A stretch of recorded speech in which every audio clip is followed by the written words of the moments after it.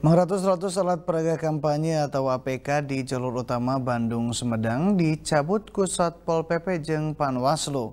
Panglik itu eta baliho katus panduk teh dipasang lain dina zona anu ditangtukeun ku KPU Sumedang.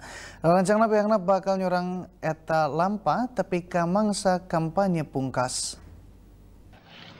Saban baliho turtas panduk calon legislatif sarta nungarojong calon presiden katut wakil presiden dicabut ku petugas di Satuan Polisi Pamong Praja Sumedang di mimiti Kecamatan Sumedang Selatan, Pamulihan Tepikat Tanjung Sari.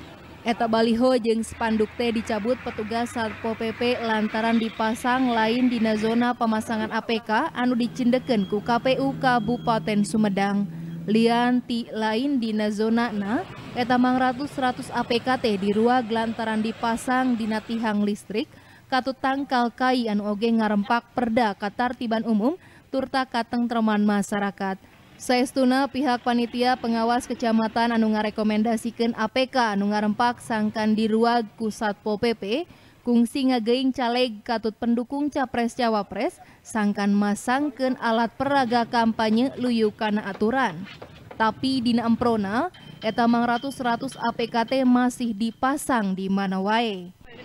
Uh, jumlahnya kayaknya cukup begitu banyak karena yang kita perkirakan bahwa walaupun cadas pangeran ini bukan suatu zona pemasangan uh, maka ini juga akan ditertibkan. Oh, gitu. dan juga ada juga desain-desain APK yang tidak sesuai dengan uh, yang diterlibat oleh KPU.